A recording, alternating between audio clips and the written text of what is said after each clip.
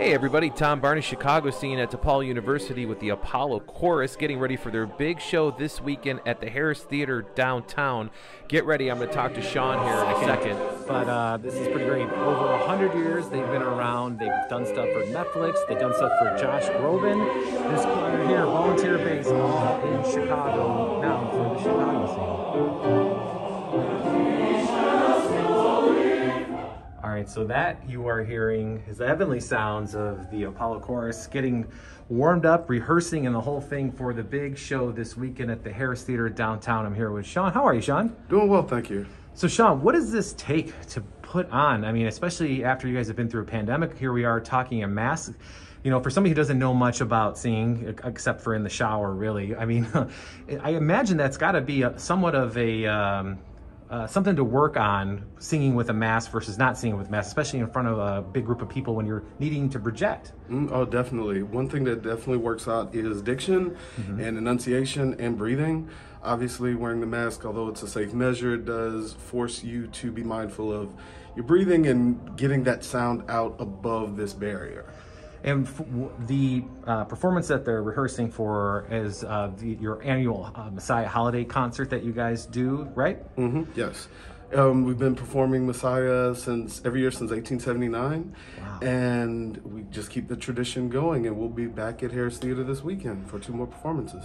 Two more performances. You said since 1879. That's an incredible run um, for anything, really, especially uh, with it when it involves a musical act. I mean, you guys weather the storm that is the pandemic, and here we are rehearsing for the first uh, show since the pandemic, right? Uh, uh, holiday show.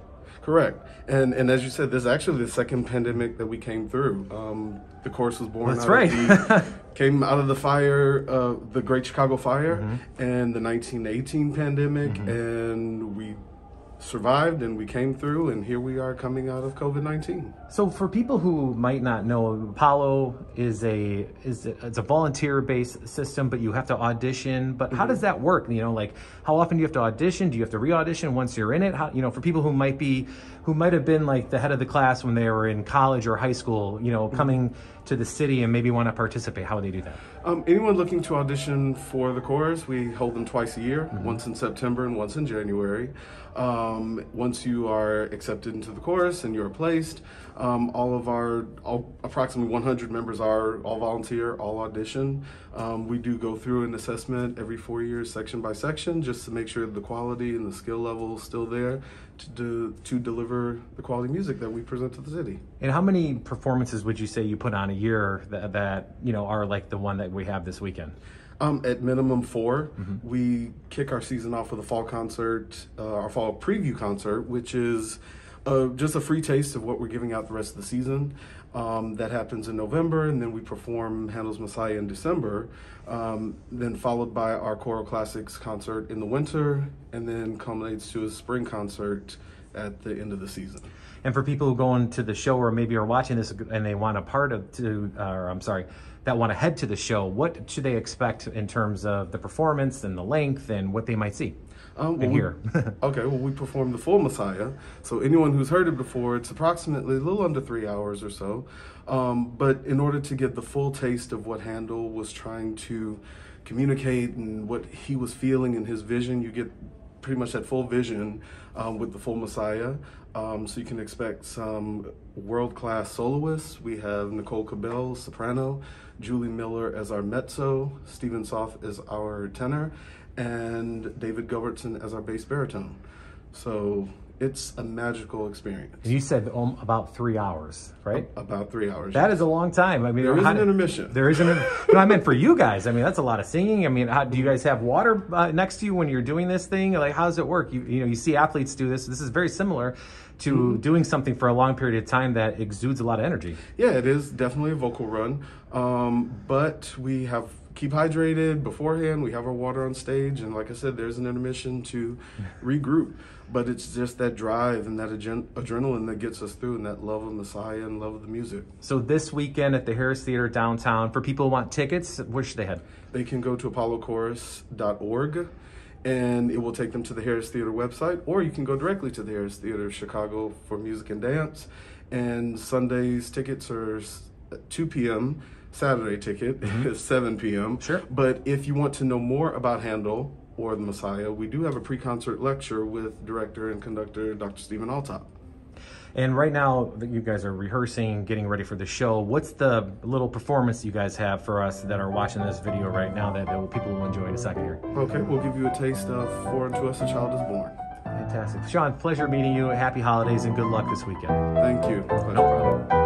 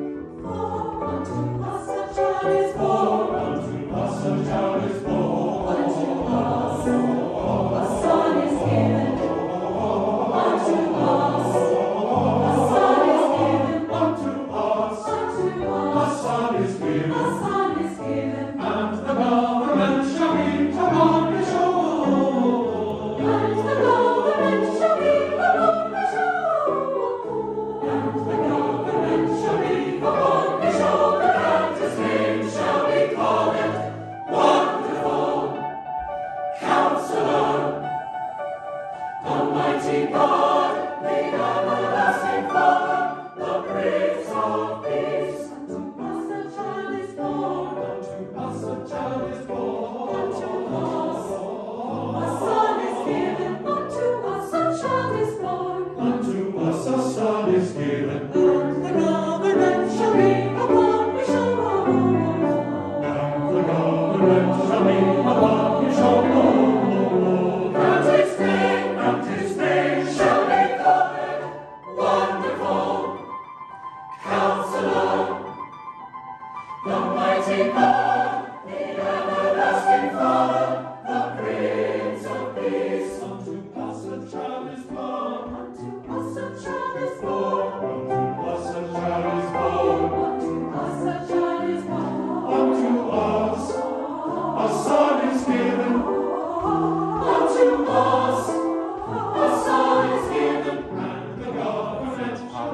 Doesn't that just sound fantastic? The heavenly sounds of the Apollo Chorus, T B A R N A S at WGNTV.com. That's T Barnas at WGNTV.com. Be sure to check them out this weekend because they are. Wonderful Counselor, the mighty God,